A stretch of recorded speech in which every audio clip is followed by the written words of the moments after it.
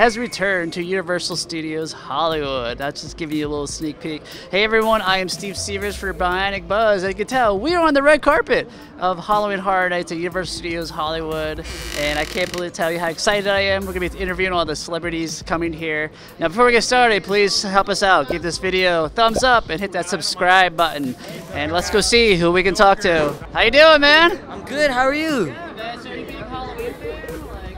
Halloween, yes, I am a Halloween fan, but horror, not so much. Oh, really? yeah. Even to be to be in a movie like that. after, yeah, right. After being in a horror film, you know, I'm not a big horror guy myself.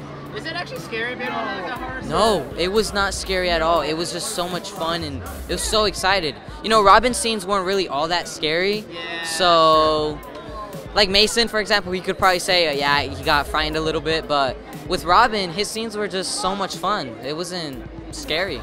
Any upcoming projects allowed to talk about before I let you go? I've auditioned for some other projects. Well, we'll just see where they go and just keep moving forward. Where can we follow your journey going forward on social media? Uh, you guys can on Instagram and TikTok. Instagram is official underscore Miguel Cazarez Mora, and TikTok it's just Miguel Cazarez Mora. All right. Thank you so much, man. Appreciate it.